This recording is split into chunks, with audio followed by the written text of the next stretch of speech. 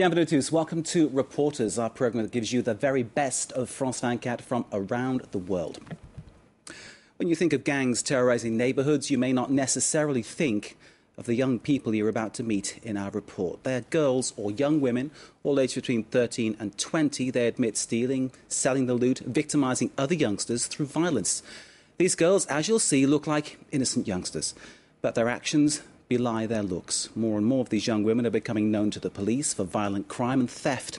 In the Paris region, the police are launching a wide ranging plan to combat what these girl gangs are doing. We'll speak with journalist Stephanie Briand after her report. Welcome to Nice, jewel of the French Riviera, at least sometimes. For the past few months, a girl gang known as Ghetto Youth was running wild here, robbing and beating other teenage girls in the city centre and at the gates of the local high schools. But the perpetrators couldn't help boasting about their actions on Facebook, and that was their downfall. Some gang members were arrested and are now being dealt with by police specialising in young offenders. We met one of the gang's leaders at the beach, at first sight looking like any other teenager, messing about in the water with her friends. At the beginning, it was just for a laugh, you know. And then every time we went into town, we were fighting. Fighting the whole time. Yeah, the girls I hit deserved it. Why did they deserve it? I don't know, just looking at them annoyed me. I'm not just saying French white girls, but those French girls really deserve to be slapped.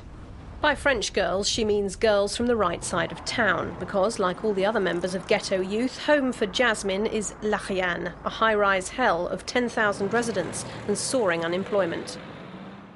Look at that. You know what this is? You know what's going on here?